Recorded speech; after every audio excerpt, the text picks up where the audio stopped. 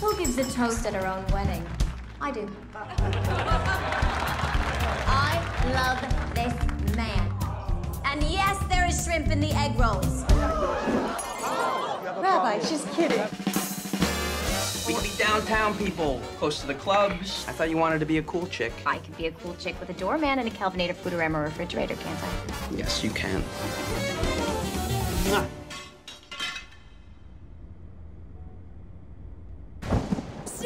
Sometimes I get a good feeling.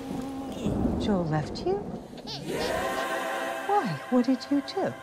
Did you ever think you were supposed to be something, and you, and you suddenly realize you're not? Yes. Married. I get a feeling that I never, never had before. No, I was a great wife. I was fun.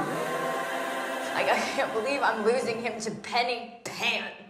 That's her name. Penny Pan. I'm sorry, but look at me. Who wouldn't want to come home to this every night? And I gotta tell you right now. Oh. Hey, Bob Newhart's got a set of these at home. Rickles, maybe. Hey!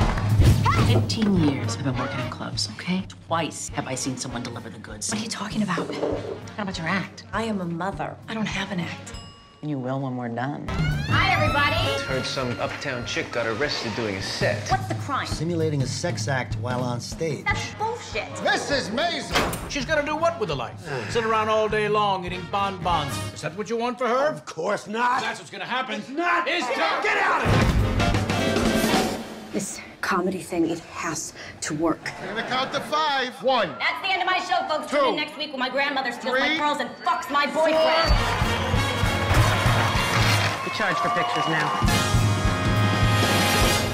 There's something here about miming a whore tickling a man's testicles. Oh, I oh, did do yeah, that. she did. It was fucking funny.